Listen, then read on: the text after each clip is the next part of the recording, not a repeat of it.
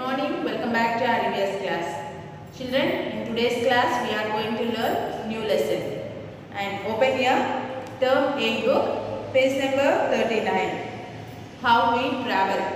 The lesson name is How we travel. Okay? So, do you like to travel children from one place to another? Yes. How can we travel? If it is a long distance means we will use bus, car or train. For a short distance means we can use bicycle or auto or scooter. Like this we can go anywhere. Okay. So we are in the lesson how we travel. So open your book the 8 children page number 39.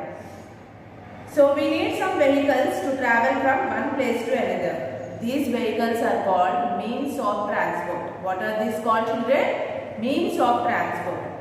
Do you know the means of transport? There are three means of transport children. Those are, see here, land transport, water transport and air transport. Land transport means the vehicles which move on land. Those are called land transport. Water transport means the vehicles which go on the water. Those are called water transport. For example, you can you know ships, boats, all these are water transport. Air transport. What are air transport children you know? Which goes on the sky. What are those? Aeroplanes, helicopters like this. These are called air transport. Okay. So today we can learn about only land transport. Okay. The vehicles which move on land are called land transport. We can travel by land, air or water. So today we are going to learn land transport.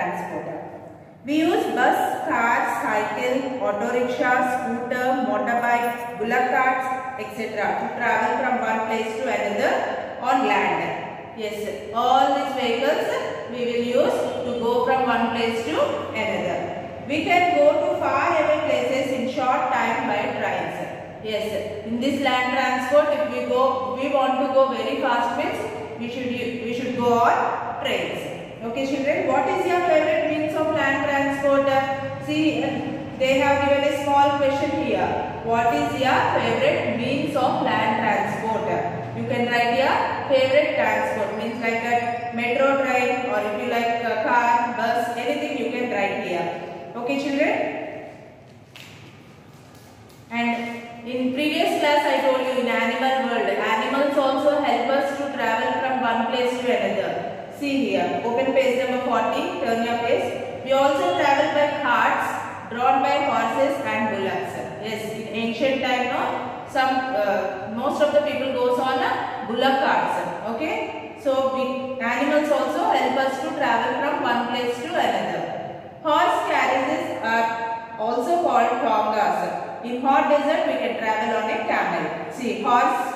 See here, you can see the picture here. Horse carriage. This is called tongas. Okay. And in last lesson also I told you, in desert, we can see camel.